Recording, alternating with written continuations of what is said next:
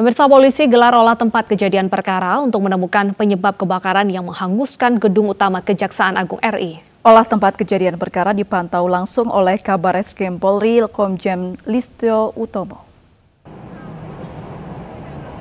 Olah TKP berlangsung di gedung utama Kejaksaan Agung dengan dipimpin Kapus Lapfor Mabes Polri dan Direktorat Tindak Pidana Umum Barreskrim Polri. Selain itu, tim penyidik dari Redaktorat Reserse Kriminal Umum Polda Metro Jaya dan Polres Metro Jakarta Selatan juga telah memeriksa 19 orang saksi. Pemeriksaan para saksi dari pihak pengamanan dan internal Kejagung untuk mengetahui blueprint atau cetak biru dari bangunan, bangunan Kejaksaan Agung. Pemerintah membentuk posko bersama yang dipimpin Kabar Eskrim Polri dan Jampidum untuk mengetahui penyebab kebakaran gedung Kejaksaan Agung.